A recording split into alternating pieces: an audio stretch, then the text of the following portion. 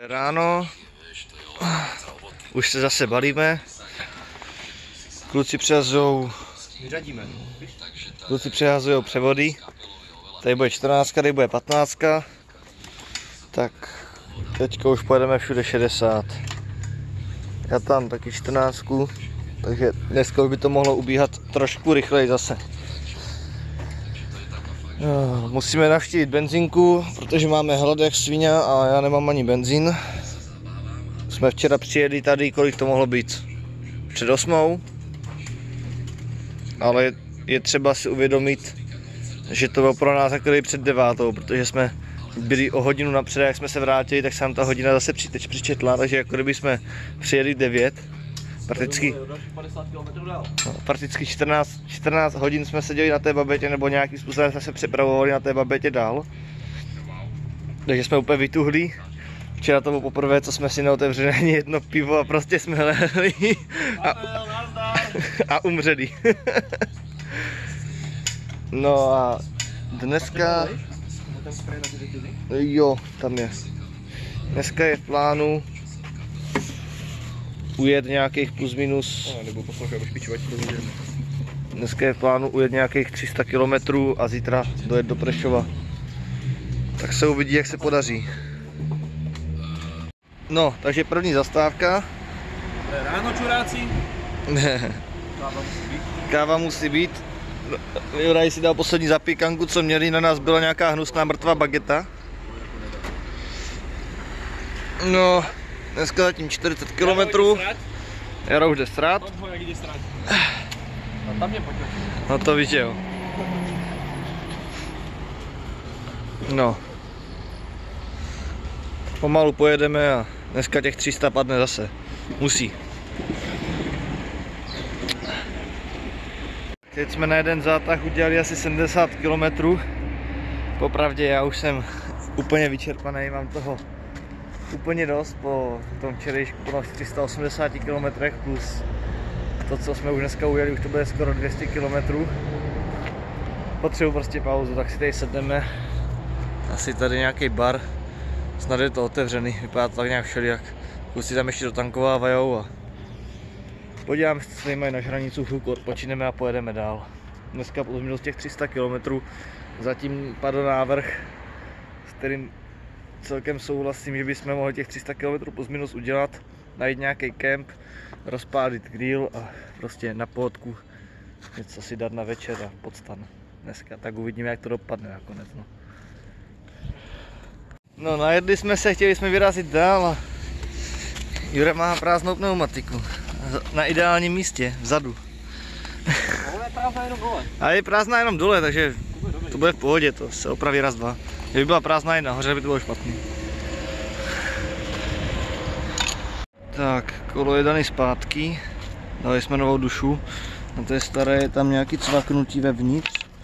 Ale máme pocit, že se to stalo, že to cvaknutí se stalo při sundávání pláště. A žádnou další díru jsme nenašli, takže Uh, snad nebudeme za pár metrů stát dál a znovu sundávat kolo. No. No uvidíme. No. Praxi už to, když tak budeme mít, tak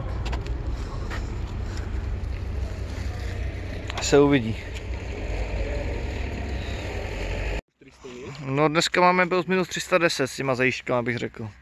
290 to píše jakože přímá trasa, ale my jsme to trošku zajížděli. Sem? No, No ještě 30 km k tomu, tak dneska to bude 320. 320 zatím, no. Takže těch 50 bude, 350 bude dneska. No přijeli jsme sem, na telefonní číslo se nemůžeme dovolat. Nikdo tady není, tak na ně sereme, objednali jsme si přes booking nějaký. Rezerváciu mají od 7 do 15.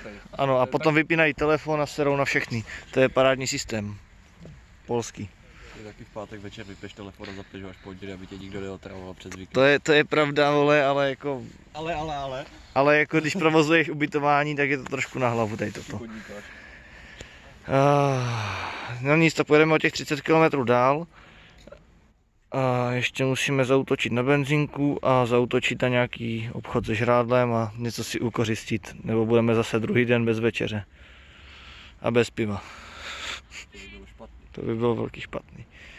Ale mě to je Dnes... dnes, Večeřu se repes, ale to pivo. no, to, mě to je dneska jedno, já už jsem ležel všude na zemi, kde jsme zastavili posledních 100 km, jsem si lehl a spal jsem aspoň 10 minut, já jsem úplně hotový po těch dvou dnech. Nic, jedem dál. Takže jsme o kus dál, nakonec jsem dojel. V Babetě ještě bylo celkem dost benzínu, takže ještě tam bylo nějaký 3 deci benzínu, takže v pohodě. Ti Poláci dneska na silnicích, to je hrůza, oni nás chcou vyloženě zabít. Vyloženě se snaží nás buď to zabít, razit, přejet, eh, nebo něco jiného. To je, dneska je to katastrofa, já už na to nemám nervy. Do toho babeta neřadí a dělá to strašný pičoviny a já už toho mám plný zuby. Fakt jako, hruza. Takže konečně jsme ubytovaní, našli jsme tady na bookingu. Jo, parádní kuchyňka, dvě ledničky, můžeme stejně něco uvařit. Mají tu dobrý lohovače. Není to půl litra, ale 650. To se mi Jo, líbí. pozdravím Pavla. Eh, tady bydlíme. Tři tý, tři, tři postele. Tady se koupeme. Jakože konečně normální sprchování po nějaké době. Fakt paráda. Úplně, úplně že v topu. Úplně v topu sprcha. Co nám k tomu řekneš? V topu a v čipu? V če- topu v čipu, ano. Ježiš, ty Poláci, to je na zabití. Bože, hruza. Uh, nic, um, Juraj je Bůh ví kde, Bůh ví s kým a Bůh ví co dělá. Byla tam taková na recepci, tak No, už no, asi víme, kde no, tak asi, asi, asi ju tam nějakým způsobem hobluje. a nic. No.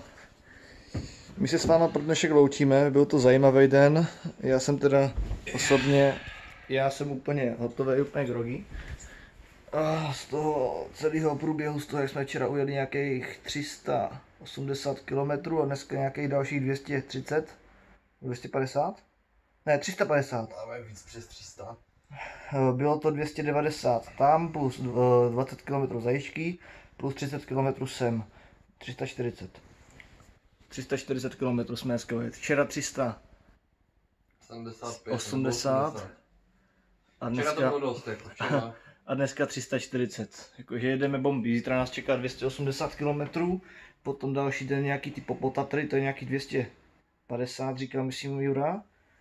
A potom 210, myslím, dom. Tak nějak, bajočko. Však my z toho, ne? Od těch tvojich? Z těch... No, no z Previdze. Uh, Prešova. Z Prešova do Prevíze jdeme jeden den? To nepojedeme dva dny, ne? Však jo? Však z Prešova do Previdze, to je nějakých 250. To je v pohodě. A navíc tam budou konečně zatáčky a kopce, ježiš, to bude tak super. To si úplně nejvíc užijeme.